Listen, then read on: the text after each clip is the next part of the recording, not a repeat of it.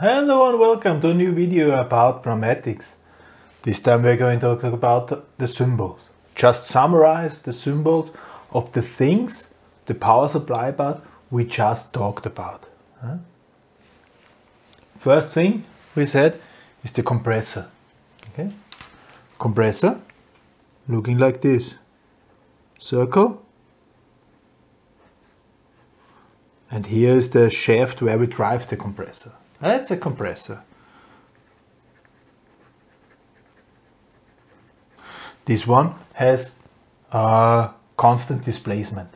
Okay, if we could regulate this compressor, the, the displacement, not very usual, but however, we would simply draw this typical arrow through. Okay, then we have a pressure tank. Pressure tank might look like this. Yeah. Can be one connection, two connection.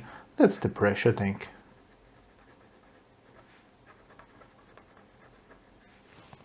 Huh? Pressure tank.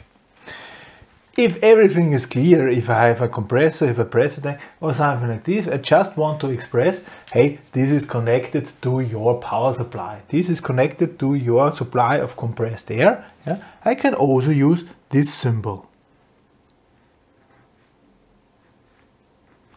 This means I do not care about compressor. It's connecting, connecting to power supply. Yeah? So this is this is a pressure source, pressure source, unspecified. Okay. So this is the this is the power part. Huh? Then we talked about the treatments. We said a filter, and a filter element looks like this.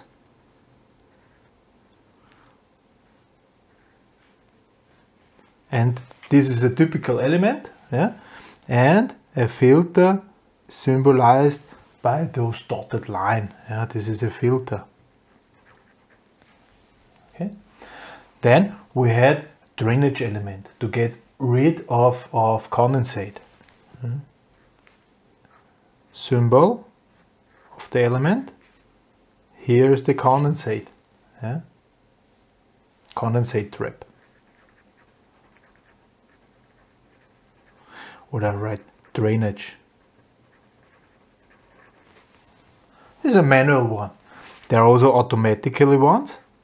Symbol. Hmm. Then we have the condensate. Yeah? And this is drained automatically. Yeah? This is the same, but automatic.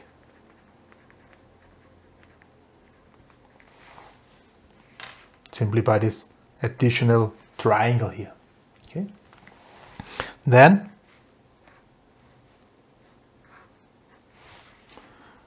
pop, little line. It's an oiler. Huh? Here the oil is dripping in. Oiler. Huh? Then we of course we talked about this pressure regulating valve.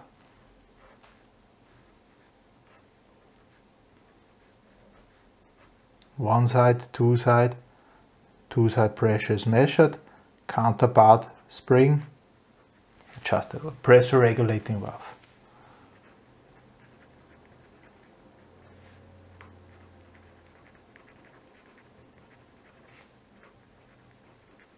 So this is usually in the treatment area of the and sometimes or a lot of times all those parts or all those treatments they are grouped somehow together. Yeah. So usually we have something like this, yeah, looking like this. Condensate drainage combined with filter element. Yeah. So there's also combination possible. Then we have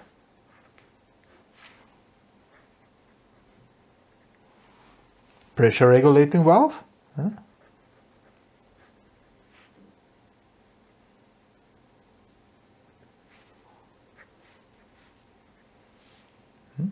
And then we might have also a oiler. And to be able to adjust the pressure, the pressure here, yeah, there's usually also some sort of pressure gauge. This is often grouped together in one physical element,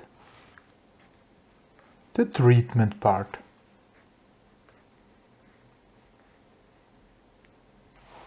Okay. There is even a short sign for this. Eh?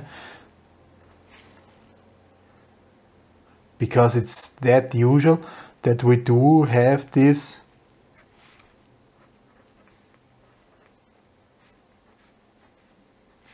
This is exactly this. Uh,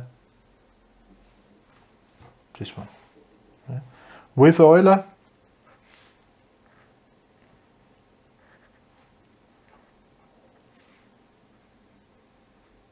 filter, drainage, without oiler Okay. so these are the, the symbols. Yeah? I show you now a picture uh, of my compressed air system down in the in my workshop yeah? and you see the several parts of it yeah? you, you see several parts of this uh, actually what this would mean yeah it would look when drawing this it would look like this yeah? so there is one compressor yeah? There's also another compressor because it's a there are two piston compressors inside. In the middle there's the motor, yeah, which is driving the two compressors. So here we have the suction line. Those two are then combined. Yeah. There is the pressure tank. Yeah. At the pressure tank we also have a manual condensate relief and then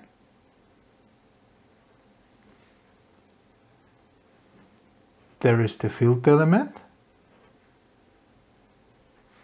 and then there is the pressure regulating valve here we have one pressure gauge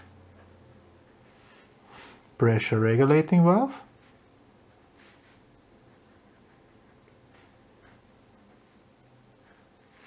Here we have one pressure gauge.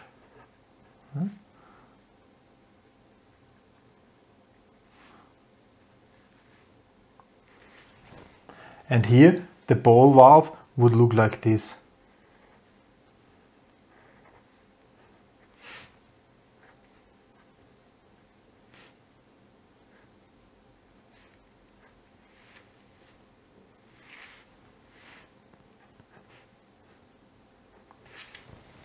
ball valve.